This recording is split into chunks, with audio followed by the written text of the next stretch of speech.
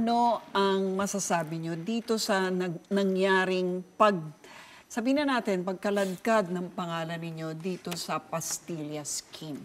Ah, Okay. Maraming salamat, uh, Uchi, Ami, ah, Ed, ah, Roby, sa binigay niyong pagkakataon sa akin. Alam mo, ako'y talagang matagal nang nananahimik. Kapagkat ah, when I resigned as ah, DOJ Secretary, para lang mawala yung controversy and so that to, para maiwasan yung administration ni President Duterte na makulayan nung nangyayari sa akin.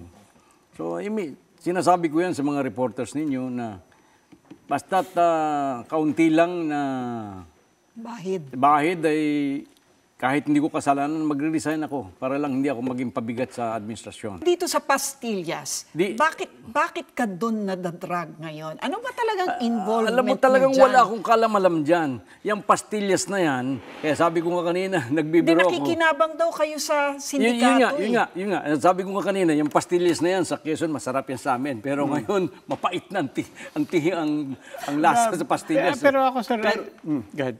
Pero walang katotohanan yan. At yan, si- sinasabi ko na yun, background kanina, yung ah, personal ni Tulfo. Ngayon, alam mo yung akusasyon sa akin na nagpapadala pa ng helicopter ako Yes, sa Mulanay. Mulanay. Oh. Nalaman ko na unang-una, may pinapakitang picture yan.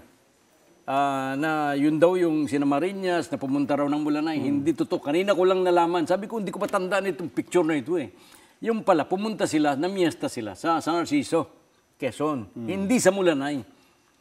At ah, sabi kong ganyan, dalawang beses daw lumapag ang helicopter sa Mulanay, magdadala ng pera. Ha? Sabi ko, unang-una wala akong helicopter. Nahirap lang ako, hindi ko kaya yan. Ah, ta, Kaya nga, kanino yung helicopter na yun? Sa ako mga Marinas. na, na, ako yung kwan eh, na, na, hindi, hindi, Napaka nanghi- VIP nanghihiram- naman nila, naka-helicopter nanghihiram sila. lang kami, wag yan kwan. Katulad nung, nung ako'y mag-resign, April 5, Hmm. ah, inimbita ko si Presidente Duterte ng May 2. Less than a month after I resigned, pumunta sa mula na yan.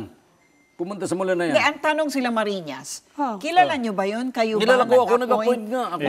Okay. They live profligate lifestyles, to quote Well, alam mo. Oh, anong karapat...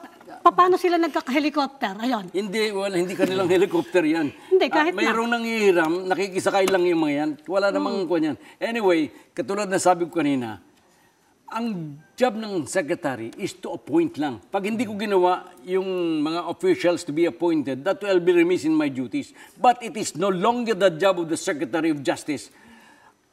Napakalaki ng dami kong ginawa. MBI, Apa. Bucor, L- um, LRA. Atras po tayo ng konti doon sa ano, and, and, and we'll get back to that point about yung appointment, no? Uh, and the limits of what you know and the limits of your your mandate. But atras po tayo ng konti. Tanggalin po muna natin yung pangalan nyo. No, we'll just talk to you as somebody who who has experience with the Department of Justice and all the agencies attached. Let's just limit first doon sa testimony ni Chong, Oh. sa whistleblowing niya. Uh, what did you think of everything that he said? Is that a plausible scheme? Is that happening? Plausible yan. Possible. Ah, as a matter of fact, ah, nangyari lang yan, nito na lang eh. Ito na lang, I was, I'm already two years out of the ah, DOJ. Sinasabi ng Tulfo na kahit daw wala ako, ay ako pa rin ang nagmamanage, nagpoprotekta ng mga sindikato.